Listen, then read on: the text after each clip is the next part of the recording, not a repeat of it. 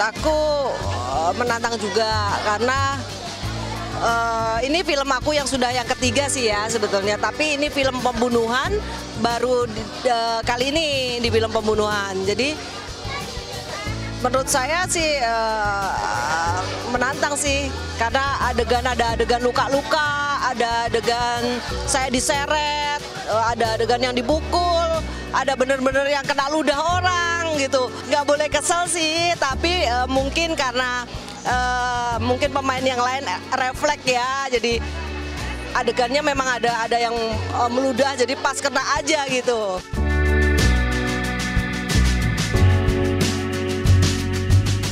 karena lawan main saya juga sudah pemain juga ya. Jadi mungkin saya beraktingnya uh, nggak sulit sih sebetulnya. Cuman waktu adegan yang saya agak ditarik yang digendong beneran jadi itu kan uh, perlu perlu uh, pemain yang uh, apa belum profesional gitu. Jadi mungkin ada adegan yang perlu diulang-ulang karena ya memang mungkin karena ada adegan yang salah, yang saya rambutnya keinjak, saya minta stop. Mungkin saya adegan uh, kepala saya ada ke, ke, kepentok orang, itu saya minta adegan itu untuk stop dulu gitu. Karena itu udah mau subuh ya, jadi ya capek juga, tapi harus profesional gitu, nggak boleh marah.